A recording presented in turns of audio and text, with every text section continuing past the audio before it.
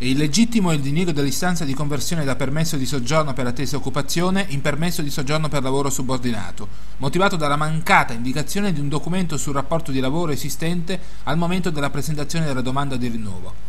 La mancanza di lavoro, a differenza della presenza di condanne penali, non rappresenta una causa ostativa, infatti vanno considerati gli elementi di novità che sopraggiungano dopo la domanda di rinnovo del permesso di soggiorno, per verificare se un certo requisito, quale appunto l'esistenza di un rapporto di lavoro, inizialmente non posseduto, sia poi stato acquisito.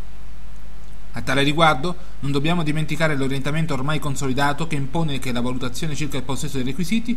vada riferita non al momento in cui viene presentata la domanda, bensì al momento in cui l'amministrazione è chiamata a pronunciarsi su di essa, occorrendo riferirsi alle condizioni attuali. Nel caso di cui alla sentenza del TAR, il ricorrente provvedeva a depositare, nei giorni successivi alla modifica del diniego, la dichiarazione di assunzione, dichiarazione che l'amministrazione avrebbe dovuto acquisire